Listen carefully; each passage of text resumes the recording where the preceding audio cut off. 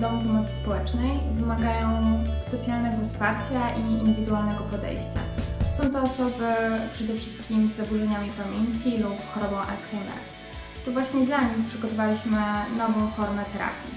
Jest to terapia reminiscencyjna polegająca na odwoływaniu się do przeżyć i doświadczeń z przyszłości chorego. E, Przedmioty wykorzystywane podczas tej terapii to przykład stare fotografie, pocztówki, ale przede wszystkim przedmioty codziennego użytku. E, Oglądając przedmioty takie jak na przykład e, rzeczy kuchenne, wałek do ciasta czy dziecięce ubranka, automatycznie zostają uruchomione wspomnienia, a chory przypomina sobie różnego rodzaju historie